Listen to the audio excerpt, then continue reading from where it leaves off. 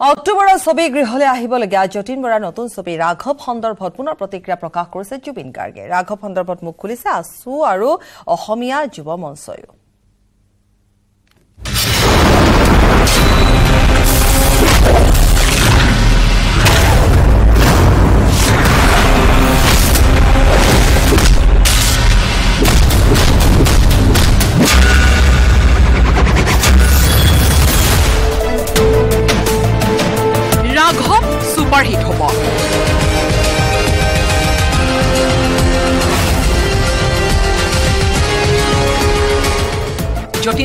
Big বাজেটৰ ছবি ৰাঘৱক লৈ পুনৰ প্ৰতিক্ৰিয়া প্ৰকাশ কৰিলে জুবিন গাৰ্গে।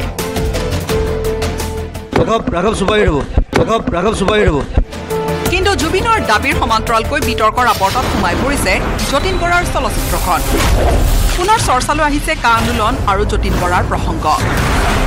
ৰাঘৱ সন্দৰ্ভত সমগ্ৰ বিষয়টো অসমবাসীৰ ওপৰত এৰি দিলে সদৌ অসম ছাত্ৰ সন্থাই অসমীয়া মানুহৰ কথা অসমীয়া চিনেমা চাই নেচায় কাৰণ এইটো এটা এণ্টাৰটেইনমেণ্ট বিষয়।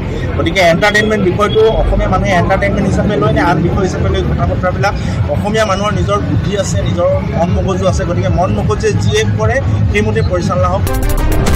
ইফালে যতীন বৰাৰ ৰাঘৱক লৈ নাৰাজ অসমীয়া যুৱ মঞ্চ। কোনো কাৰণতে যতীন বৰাৰ চিনেমা নাচাই সংগঠনটোৰ কৰ্মীসকলে। জুবিন গাৰ্গ সন্দৰ্ভত প্ৰতিক্ৰিয়া প্ৰকাশ কৰি অসমীয়া যুৱ মঞ্চৰ নেতৃত্বৰ মন্তব্য। যে সি এটা গৰু কোনে কয়? জুবিন গাৰ্গ ডাঙৰীয়াই কয়। চিনেমা অহাই নাই টিজাৰ এটা মুকলি হৈছে। অসমৰ ৰাইজে বহু সংখ্যকে ছচিয়েল মিডিয়াত লিখিবলৈ লৈছে যে আমি চিনেমাখন নাচাওঁ কিয়? যে তেওঁৰ প্ৰতি মানুহৰ আক্ষেপ আছে। তেওঁলোকৰ উচতনিমূলক বক্তব্যত তেওঁলোকে ওলাই অহা সেই বক্তব্যত পাঁচজনকৈ লৰাই অসমীয়া লৰাই কিন্তু কি কৰিবলগীয়া হৈছিল? জীৱন দিবলগীয়া হৈছিল। ৰাঘৱ নামৰ যিখন চিনেমা আহিবলৈ লৈছে তেখেতলোকৰ প্ৰতি আমাৰ ব্যক্তিগত কোনো অসূয়া অপ্ৰীতি নাই বেয়া মনোভাৱ নাই কিন্তু আমি নাচাওঁ বুলি ব্যক্তিগতভাৱে এইটো এটা সিদ্ধান্ত কৰিছো বাকী অসমৰ ৰাইজে কৰিব। অক্টোবৰত ছবিগৃহলৈ আহিবলগীয়া বিগ বাজেটৰ চলচ্চিত্ৰখনক লৈ ছচিয়েল মিডিয়াৰ লগতে ৰাজ্যজুৰি আৰম্ভ হৈছে ক্ৰিয়া প্ৰতিক্ৰিয়া মঙলদৈৰ পৰা নৱজ্যোতি মহন্ত তিনিচুকীয়াৰ পৰা উপাসনা বৰুৱা গোস্বামী আৰু শিৱসাগৰৰ পৰা প্ৰদীপ গগৈৰ report news eighteen Assam north news এইটিনৰ বাতৰিৰ পিছতে গা লৰিল পুথি বাছনি কমিটিৰ এক কোটি বাৰ লাখ টকাৰে ক্ৰয় কৰা পুথি পৰীক্ষা কৰাৰ প্ৰতিশ্ৰুতি দিলে পুথি বাছনি কমিটিৰ অধ্যক্ষই। News eighteen big impact. দুদিন বাতৰি সম্প্ৰচাৰৰ পাছতে গা লৰিল পুথি বাছনি কমিটিৰ এক কোটি বাৰ লাখ টকাৰে পুথিভঁৰাল সেৱা সঞ্চালকালয়ে কিনা পুথি পৰীক্ষা কৰাৰ প্ৰতিশ্ৰুতি পুথি বাছনি কমিটিৰ অধ্যক্ষ ৰণোজ পেগুৰ। গোটেই বিষয়টো মই পৰীক্ষা কৰিছো। নিবিদাত উল্লেখ থকা চৰ্ত নিজেই উলংঘা কৰি কিতাপ কিনাৰ অভিযোগ উঠিছে পুথিভঁৰাল সেৱা সঞ্চালকালয়ৰ বিৰুদ্ধে। দুহেজাৰ পোন্ধৰ চনতে প্ৰকাশ পোৱা অখ্যাত পুথিৰ লগতে প্ৰকাশ নোহোৱা কিতাপ কিনি সংবাদ শিৰোনাম দখল কৰিছিল পুথিভঁৰাল সেৱা সঞ্চালকালয়ে। কিতাপ কিনোতে প্ৰখ্যাত লিখকতকৈ মনে মিলা তথা লেনদেন কৰাত পাকৈত লিখকক অগ্ৰাধিকাৰ দিয়াৰো অভিযোগ উঠিছিল পুথিভঁৰাল সেৱা সঞ্চালকালয়ৰ বিৰুদ্ধে। তাৰ পাছতে মুখ খুলিলে পুথি বাছনি কমিটিৰ অধ্যক্ষৰ পদত থকা মন্ত্ৰী ৰণোজ পেগুৱে। এই নিবিদাখনত উল্লেখ আছিলে যে দুহেজাৰ বিশ চনৰ পূৰ্বৰ কিতাপ কিনিব নোৱাৰিব। কিন্তু দেখিব পোৱা গ'ল যে দুহেজাৰ বিশ চনৰ পূৰ্বৰ কিতাপ কিনিলে। তাত লিখা আছিলে যিখন কিতাপ তাত বিক্ৰী কৰিব সেই কিতাপখনত এটা ইয়াৰ পুথিখিনি বাছনি কৰাৰ কাৰণে এখন সমিতি থাকে আৰু সেই সমিতিখনে বাছনি কৰি দিয়া মতে তেওঁলোকে কিতাপখিনি কিনিব লাগে। যদি এতিয়া মই সমিতিখনে কি কি কিতাপ বাছনি কৰি দিছিল আৰু সঞ্চালকালয়ে কি কি কিতাপ কিনিছে মই পৰীক্ষা কৰিছো চেক কৰিছো পাছে প্ৰশ্ন হয় কোনে পৰীক্ষা কৰিব এক কোটি বাৰ লাখ টকাৰে কিনা কিতাপ? সেই দায়িত্বও যদি পুথিভঁৰাল সেৱা সঞ্চালকালয়ৰ বিষয়া কৰ্মচাৰীৰ ওপৰত পৰে তেতিয়া কি হ'ব সেয়া সহজে অনুমেয়। কেমেৰাত অঞ্জনৰ সৈতে বলেন ভট্টাচাৰ্যৰ report news eighteen Assam north east. আৰু ধুবুৰী গৌৰীপুৰ কাণ্ডত জড়িত ছটা অভিযুক্তক এতিয়ালৈকে আৰক্ষীয়ে গ্ৰেপ্তাৰ কৰিছে? কিন্তু এতিয়াও পলাতক অৱস্থাত আছে আন কেইবাটাও অভিযুক্ত। তিনি আগষ্টত শক্তি বিভাগৰ কৰ্মচাৰীক অতি বৰ্বৰতাৰে আক্ৰমণ কৰিছিল একাংশ লোকে। শক্তি বিভাগৰ কৰ্মচাৰীক হত্যাৰ চেষ্টা কৰা মূল অভিযুক্ত গ্ৰেপ্তাৰ। আৰক্ষী আৰক্ষীৰ জালত হাফিজুৰ ৰহমান। শক্তি বিভাগৰ কৰ্মচাৰীক ফলা খৰিৰে কোবাই হত্যাৰ চেষ্টা কৰিছিল হাফিজুৰ ৰহমানকে ধৰি মুঠ নটা অপৰাধীয়ে। ইতিমধ্যে হাফিজুৰ ৰহমানৰ লগতে আৰক্ষীৰ জালত পৰিছে আছৰাফ আলী ছামছুল শ্বেখ মইনুল হক ৰচিদুল ইছলাম মুস্তাকিকম ৰহমান নামৰ ছয় অভিযুক্ত। বিপৰীতে এতিয়াও পলাতক হৈ আছে মজিদুৰ শ্বেখ আজিজুৰ ৰহমান আৰু নীলু শ্বেখ নামৰ অপৰাধীকেইটা তিনি আগষ্টত গৌৰীপুৰৰ ডুমৰদহ গাঁৱত সংঘটিত হৈছিল এই ভয়ংকৰ ঘটনাটো। বিদ্যুৎ চুৰিত বাধা দিবলৈ যোৱা অভিযন্তা মঞ্জুৰুল হকৰ লগতে অস্থায়ী কৰ্মচাৰী মফিদুল হক আৰু ৰফিকুল হকক ফলা খৰিৰে কোবাই হত্যাৰ চেষ্টা চলাইছিল এদল লোকে। একাংশ লোকৰ বাধাৰ পাছতো নিৰ্বিচাৰে মাৰধৰ কৰিছিল হাফিজুৰ ৰহমান এণ্ড কোম্পানীয়ে। আৰক্ষীৰ সহযোগত কথম্পি প্ৰাণ ৰক্ষা পৰিছিল শক্তি বিভাগৰ বিষয়া কৰ্মচাৰীৰ। বিপৰীতে সংবাদ মাধ্যমত ধাৰাবাহিক বাতৰি সম্প্ৰচাৰৰ পাছত খালী হৈ আছিল গৌৰীপুৰৰ ডুমৰদহ গাঁও। কিন্তু গ্ৰেপ্তাৰৰ ভয়ত গাঁও এৰি পলোৱাৰ পাছতো সাৰি নগল হাফিজুৰ ৰহমানকে ধৰি আন পাঁচ অভিযুক্ত। পলাতক তিনি অভিযুক্তক বিচাৰি ধাৰাবাহিক অভিযান চলাইছে ধুবুৰীৰ প্ৰতিখন থানাৰ আৰক্ষীয়ে। কুৰিৰবাৰ গাঁৱত আত্মগোপন কৰি থকা হাফিজুৰক বালাজান আৰক্ষীয়ে জালত পেলোৱাৰ দৰে অচিৰেই মজিদুৰ শ্বেখ আফিজুৰ ৰহমান আৰু নীলু শ্বেখো জালত পৰিব বুলি নিশ্চিত কৰিছে ধুবুৰী আৰক্ষীয়ে।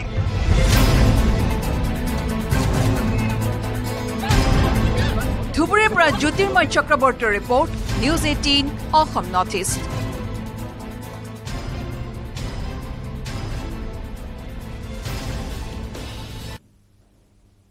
উগ্ৰপন্থীয়ে গিজগিজাই থকা মণিপুৰলৈ কিছুদিনৰ বাবে শান্তি আহিছিলহে। পুনৰ অশান্ত হৈ পৰিল মণিপুৰ। ইম্ফলত আকৌ জ্বলিছে। ইটোৰ পিছত সিটো ঘৰ।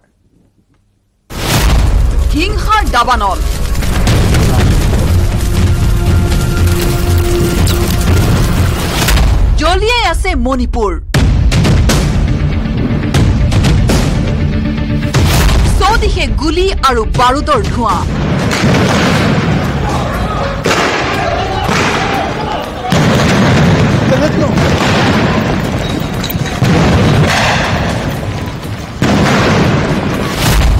কি দিন?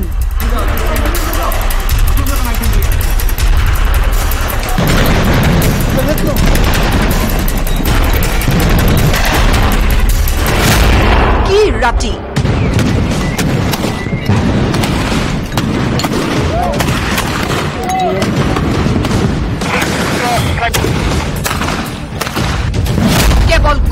আৰু বাৰুদৰ শব্দ। এয়াই মণিপুৰ। উগ্ৰপন্থীয়ে গিজগিজাই থকা মণিপুৰলৈ কিছুদিনৰ বাবে শান্তি আহিছিলহে। পুনৰ অশান্ত হৈ পৰিল মণিপুৰ। এয়া অৱশ্যে নিৰাপত্তা বাহিনী আৰু উগ্ৰপন্থী গোটৰ মাজৰ সংঘৰ্ষ নহয়। শুকুৰবাৰে নিশা ৰাজ্যখনৰ বিষ্ণুপুৰ জিলাৰ কাকটাত কুকি উগ্ৰপন্থীয়ে গুলীয়াই নিহত কৰিছিল একেটা পৰিয়ালৰ তিনিগৰাকী লোকক। তাৰ পিছত পুনৰ প্ৰতিবাদমুখৰ হৈ পৰে ৰাজ্যখনৰ মেইটেই জনগোষ্ঠীয় লোকসকল। তাৰ পিছত শনিবাৰৰ দিনৰ দৃশ্য এয়া। প্ৰতিবাদকাৰীসকলে কেটেপাৰে গোলাবৰ্ষণ কৰি পৰিস্থিতি উত্তপ্ত কৰি তোলে। তাৰ পিছতে নিৰাপত্তা বাহিনীয়ে কন্দুৱা গেছ মাৰি গুলীবৰ্ষণ কৰি প্ৰতিবাদকাৰীক ছত্ৰভংগ দিওৱাৰ চেষ্টা কৰে Earlier on Saturday evening, unknown miscreants had also set ablaze seven to eight houses in different areas of Imphal East and Imphal West. Uh, we have witnessed presence of Manipur police top officials at the incident spot uh, actively uh, trying to manage the situations and bring some semblance of control. শনিবাৰৰ এনে ঘটনাৰ পিছত ৰাজ্যখনৰ তিনিখন জিলাত পুনৰ সান্ধ্য আইন জাৰি মণিপুৰৰ পশ্চিম ইম্ফল পূব ইম্ফল আৰু বিষ্ণুপুৰ জিলাত চৌব্বিছ ঘণ্টাৰ বাবে সান্ধ্য আইন জাৰি কৰা হৈছে In response to the escalating uh, violence and growing um, security concerns, uh, the authorities had uh, curtailed the relaxations of curfew in Imphal West, Imphal East, and Bisnupur districts. এনে ঘটনাৰ মাজতে দুষ্কৃতিকাৰীয়ে জ্বলাই দিয়ে কেইবাটাও ঘৰ। তিনি মাহে এনেদৰেই জ্বলি আছে চুবুৰীয়া ৰাজ্যখন। এতিয়া চৰাইৰ শব্দত নুপুৱাই মণিপুৰৰ ৰাতি। মণিপুৰত এতিয়া ৰাতিপুৱাই গুলী আৰু বাৰুদৰ শব্দত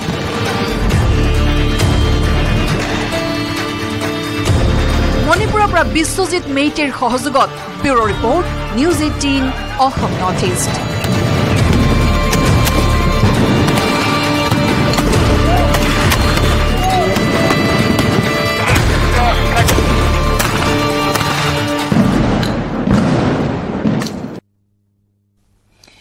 এখন বিশেষ দলং আৰু এখন প্ৰাথমিক বিদ্যালয়ৰ কণ কণ ছাত্ৰ ছাত্ৰী এই ছাত্ৰ ছাত্ৰীৰ সপোন পূৰণ কৰিছিল স্থানীয় বিধায়কজনে।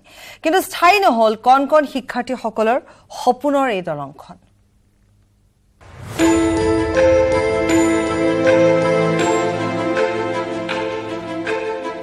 আৱেগ শেষ। প্ৰতিশ্ৰুতিও পূৰণ। কিন্তু উৰ নপৰিল সমস্যা। ষাঠি লাখ টকাত এটা দলং বনাইছে। সেই ষাঠি লাখ টকাৰ দলংটো এবাৰ ৰিপেয়াৰিং কৰিছে। আকৌ ভাঙি পৰি গ'ল। ভাল বাৰিষা হোৱা নাই। বাৰিষাত আৰু বিপদ হ'লহেঁতেন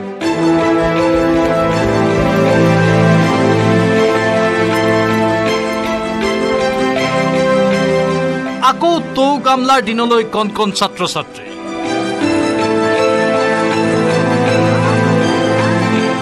এয়া দুহেজাৰ ওঠৰ চনৰ দৃশ্য।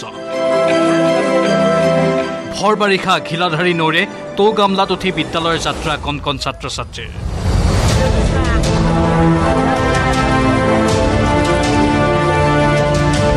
নিউজ এইটিনত সম্প্ৰচাৰিত এই বাতৰিয়ে পাছত এক প্ৰকাৰ হাহাকাৰৰ সৃষ্টি কৰিছিল দিছপুৰত। নিশাৰ ভিতৰতে তৎপৰ হৈ পৰিছিল বিশ্বনাথৰ স্থানীয় বিধায়ক প্ৰমোদ বৰঠাকুৰ। দৃশ্য দেখি মৰ্মাহত হৈ পৰা বিধায়কজনে অঞ্চলটোত উপস্থিত হৈ কথা দিছিল। শীঘ্ৰে উৰ পৰিব কণ কণ ছাত্ৰ ছাত্ৰীৰ দুখৰ দিন। অঞ্চলটোলৈ তাঁত বাতি আৰম্ভ হ'ল চৰকাৰী বিভাগত। বিনিময়ত দুহেজাৰ ওঠৰ চনত নিৰ্মাণ হ'ল কাঠৰ দলং। দুহেজাৰ ঊনৈছ চনৰ তেইছ আগষ্টত মহা ধুমধামেৰে মুকলি হ'ল দলংখন। কিন্তু নীতিগীত নিৰ্মাণৰ চাৰি বছৰ নহওঁতেই ভাগি পৰিল ষাঠি লাখ টকা ব্যয় সাপেক্ষে নিৰ্মাণ কৰা বহু চৰ্চিত দলংখন। দলং নিৰ্মাণৰ দায়িত্ব লাভ কৰিছিল বিধায়ক প্ৰমোদ বৰঠাকুৰৰ আত্মীয় ঠিকাদাৰ দিগন্ত বৰঠাকুৰে নিম্নমানৰ কামৰ বাবেই দলংখন ভাগি পৰাৰ অভিযোগ ৰাইজৰ। ৰাইজৰ মতে ষাঠি লাখ টকা ব্যয় ধাৰ্য কৰা দলংখনত বিছ লাখ টকাও খৰচ নকৰিলে ঠিকাদাৰে। ইয়াৰ পূৰ্বে দুবাৰকৈ মেৰামতি কৰা দলংখনত পচা কাঠ ব্যৱহাৰৰ অভিযোগ ৰাইজৰ। কামটো দিগন্ত ঠিকাদাৰটো। দুবাৰ বনোৱাৰ পিছত আকৌ পৰি গ'ল ৰংটো কি কাৰণে দলংখন ভাঙি দিলে শিমল কাঠ দিছে আৰু। হাজাৰ পঁচা হাজাৰ কাঠ দিছে। নিম্নমানৰ কাম হৈছে কামেই হোৱা নাই এইটো। দুই তিনি বছৰ নহওঁতে দলংখন ভাঙি পৰি গ'ল। এতিয়াতো ছাত্ৰ ছাত্ৰীৰ অহা যোৱা মাষ্টৰ গাঁৱৰ ৰাইজ বহুত অসুবিধাত পৰি গ'ল। মুঠতে স্বজন তোষণ নীতিত বলিৰ পথা হ'ল চতিয়াৰ পশ্চিম কুৰুৱা আদি প্ৰাথমিক বিদ্যালয়ৰ কণ কণ ছাত্ৰ ছাত্ৰীসকল যাৰ বাবে দলংখন ভগাৰ পাছতে শনিবাৰে এইদৰেই মৰণত শৰণ দি বিদ্যালয় যাত্ৰা অব্যাহত ৰাখিলে কণ কণ শিক্ষাৰ্থীসকলে। অৱশ্যে ভয়ংকৰ অঘটনৰ প্ৰতি লক্ষ্য ৰাখি দলংখনেৰে যাতায়াতত নীতি নিৰ্দেশনা জাৰি কৰে লোক নিৰ্মাণ বিভাগে।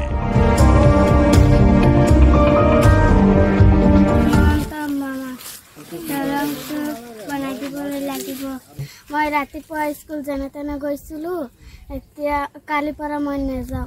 কোনে কোনে বনাব এতিয়া দলং? হিমন্ত মামা। আমাৰ দলংটো ভাঙি গ'লে ৰাতিপুৱা যেনে তেনে গৈছিলো কালিৰ পৰা আমি স্কুল নাযাওঁ।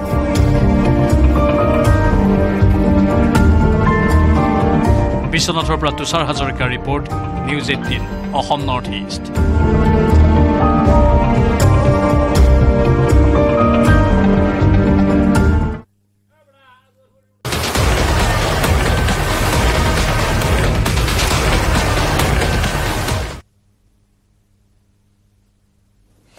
এইবাৰ হুৰা হুৰে বাঢ়িছে গেলামালৰ সামগ্ৰীৰ মূল্য। চাউল মিঠাতেল ৰহৰ দাইলৰ পৰা মছলালৈ পুনৰ মূল্য বৃদ্ধি নিয়ন্ত্ৰণত চৰকাৰৰ বিৰুদ্ধে ব্যৰ্থতাৰ অভিযোগ তুলিলে আছুৱে।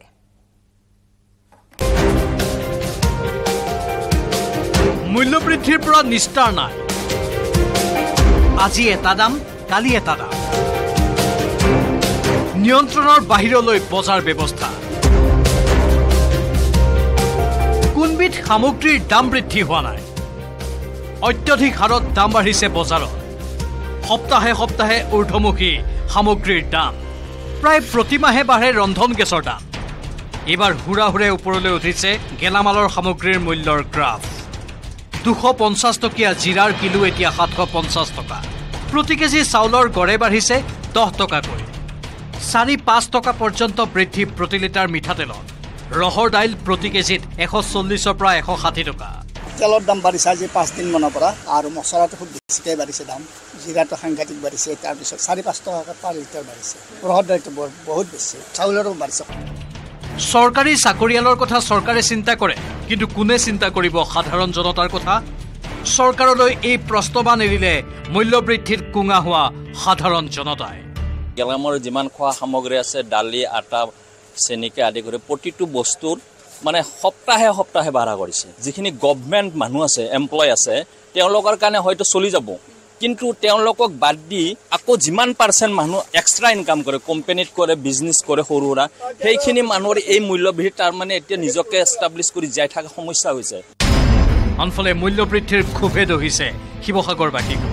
চৰকাৰে মূল্যবৃদ্ধিৰ ওপৰত কোনো ধৰণৰ গুৰুত্ব আৰোপ নকৰে আৰু মন্ত্ৰী বিধায়কৰ পৰা আদি কৰি নেতা বা পানী নেতালৈ আদি কৰি সকলোৱে ভেঙুচালি মন্তব্য দিয়ে মূল্যবৃদ্ধিৰ ওপৰত।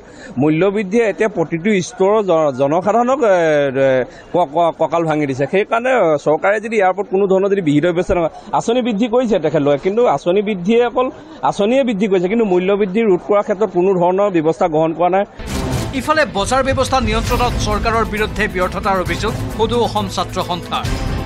ছাত্ৰ ছাত্ৰীসকলৰ ওপৰত মাধমাৰ ৰাইজৰ ওপৰত মাধমাৰ এই চৰকাৰখনে বজাৰত জুই লগাৰ সময়ত যে তেখেতসকল শুই আছে আৰু মূল্যবৃদ্ধি নিয়ন্ত্ৰণত সম্পূৰ্ণৰূপে ব্যৰ্থ হৈছে এই চৰকাৰখন এইটো প্ৰমাণ হৈছে।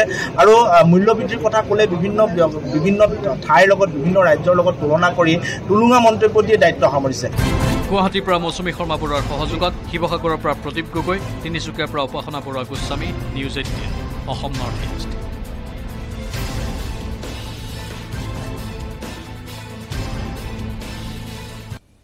য'তে ত'তে পৰিছে এতিয়া মূল্যবৃদ্ধিৰ প্ৰভাৱ। কি ৰাজনীতি কি সৰ্বসাধাৰণৰ পৰিয়াল? মূল্যবৃদ্ধিৰ বাবে পত্নীৰ গালি শুনিবলগীয়া হৈছে খুদ শাসকীয় চৰকাৰৰ বিধায়কে।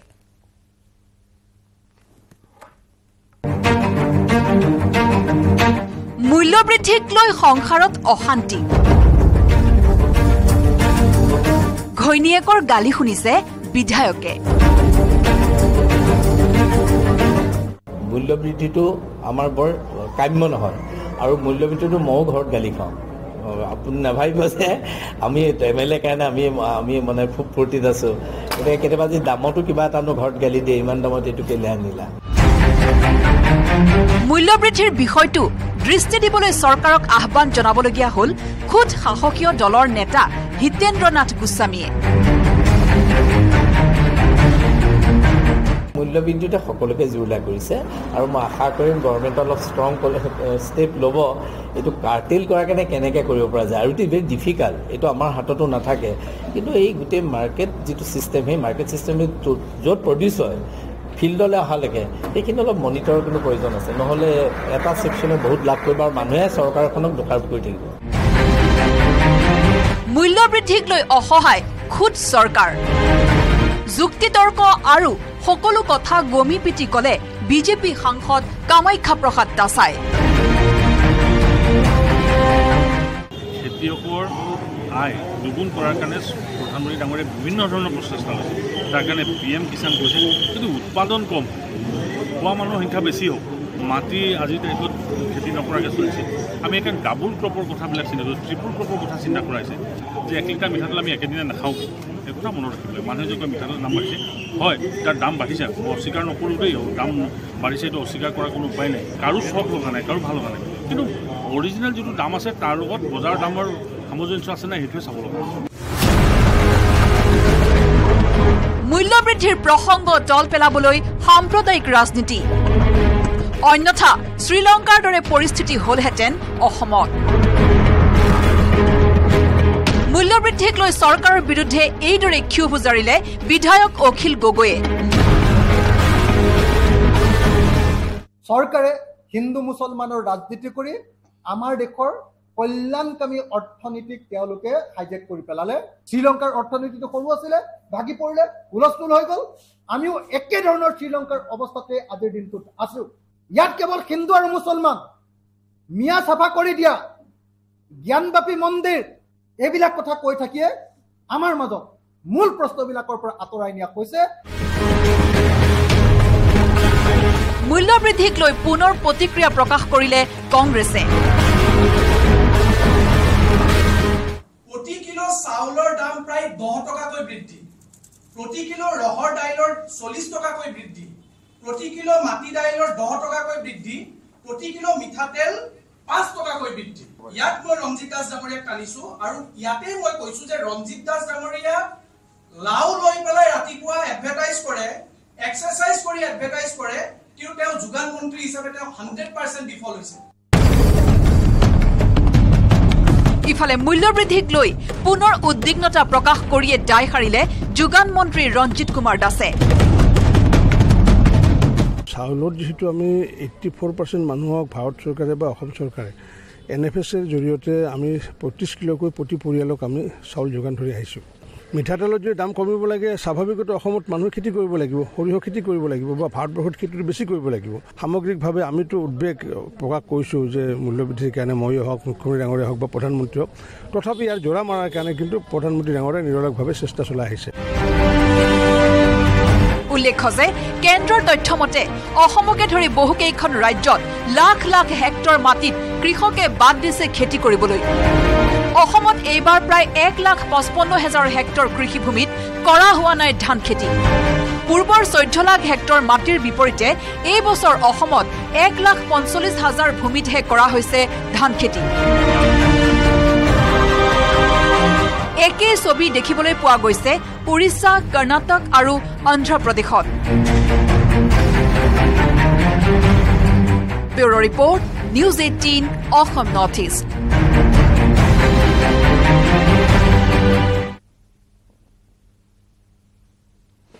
এক জটিল ৰোগত আক্ৰান্ত হৈ পৰিছে কামপুৰৰ এটি দহ বছৰীয়া শিশু। দৰিদ্ৰতা আৰ্থিক অনাটনৰ বাবে তিনি বছৰে চিকিৎসাৰ পৰা বঞ্চিত শিশুটি বৰ্তমান আক্ৰান্ত ছালৰ যক্ষ্মা ৰোগত। এটি দহ বছৰীয়া শিশু। আক্ৰান্ত জটিল ৰোগত তিনি বছৰে বঞ্চিত চিকিৎসাৰ পৰা। দৰিদ্ৰতা আৰ্থিক অনাটনৰ বাবে চিকিৎসাৰ পৰা বঞ্চিত হৈ এতিয়া জটিল ৰোগত আক্ৰান্ত হৈ পৰিছে শিশুটি। সজাগতা আৰু সচেতনতাৰ অভাৱৰ বাবেই সামান্য ফুহাৰ পৰা সৃষ্টি হ'ল জটিল ৰোগ। এই এইখিনিতে ফুহা এটা হৈছিলে। ফুহা হওঁতে মানে আমি ইমানটো হৈছিলে ফুহাটো। ফুহা হওঁ প্ৰথম ফুহা হওঁতে মই মানে ফুটাই দিলোঁ নেমু ফুল দি। ফুটাই দিওঁতে মানে শুকাই গ'ল। শুকাই যোৱাৰ পিছত আকৌ মানে ডাঙৰকৈ এটা উঠিছে। বস্তুটো পকি গ'লগৈ। পকি যাওঁতে মানে বিষাই কান্দে সেইটো কাৰণে মানে ফালি দিলে ডক্তৰ ঘৰলৈ লৈ যাই পেলাই। এই ডক্তৰ ঘৰলৈ লৈ যাই পেলাই ফালি দিওঁতে মানে বস্তুটো মানে বহুল হৈ গ'লগৈ। বৰ্তমান গুৱাহাটী চিকিৎসা মহাবিদ্যালয় হাস্পতালত চিকিৎসাধীন শিশুটি। ৱাৰিয়ৰ নামৰ এটি বেচৰকাৰী সংস্থাই শিশুটিক উদ্ধাৰ কৰি চিকিৎসাৰ ব্যৱস্থা কৰিছে। ৱেৰিয়াৰ্ছ নামৰ এন জি অ' এটা আছে তালৈকে খবৰ আহিছিলে। দহ বছৰৰ বাচ্ছাৰ মানে অৱস্থাটো খুব এটা ভাল নহয় বুলি আমাৰ ফালত আমাক সহায়ৰ কাৰণে বিচাৰিছিলে আৰু। আমাৰ মানুহখিনি কথা আলোচনা কৰি পেলাই তেওঁলোকৰ নেক্সট দিনাখনে ৰেস্কিউ কৰি আনিলে। তাতে ট্ৰিটমেণ্ট কৰিব পৰা অৱস্থাত একেবাৰে নাছিল যিহেতু চাৰি বছৰৰ পৰা ভুগি আছিলে বাচ্ছাটো। তো তাৰ পৰা জি এম চি এইচত ৰেফাৰ কৰি দিলে। চাইল্ড লাইনৰ ফালৰ পৰা তত্বাৱধান কৰা হৈছে শিশুটিক।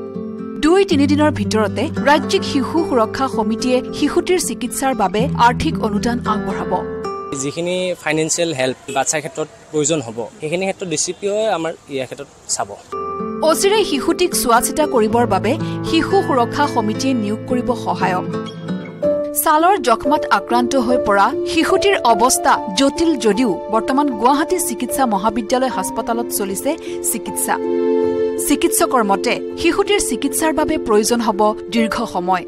পঁচিছ জুলাইৰ পৰা চিকিৎসাধীন হৈ থকা শিশুটিৰ অৱস্থা বৰ্তমান কিছু সুস্থিৰ। প্ৰাৰম্ভিক চিকিৎসা শেষ হোৱাৰ পাছত প্লাষ্টিক ছাৰ্জাৰী কৰা হ'ব শিশুটিৰ। মৌচুমী শৰ্মা বৰুৱাৰ report news eighteen Assam north east.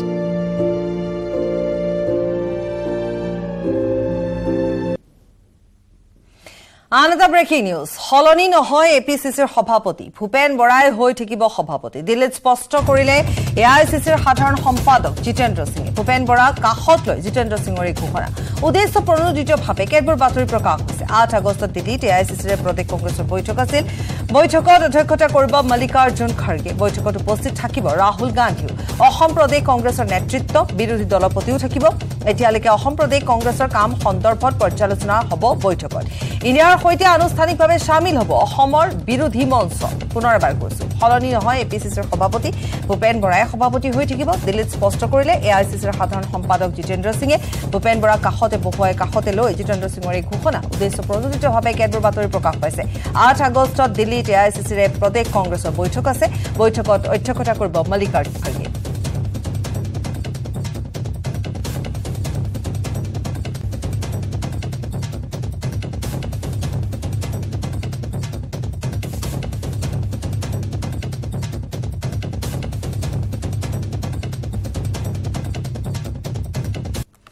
ৰাজ্যত সংহাৰ কমা নাই জাপানীজ এনচেফেলাইটিছৰ বকুত মৃত্যু খাব দিলে মহিলাসহ দুগৰাকী লোকে। গহপুৰত জাপানীজ এনচেফেলাইটিছত আক্ৰান্ত হৈছে দুই শিশু।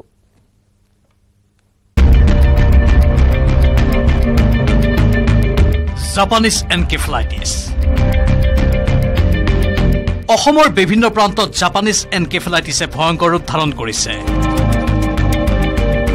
ইতিমধ্যে বিভিন্ন প্ৰান্তত বহু লোকৰ মৃত্যু হৈছে। সমগ্ৰ ৰাজ্যৰ সমান্তৰালকৈ বকুতো ভয়াৱহ ৰূপ ধাৰণ কৰিছে। জাপানিজ এনকেফেলাইটিছে। এই ৰোগত মহিলাসহ দুজন লোকৰ মৃত্যু হৈছে তাত।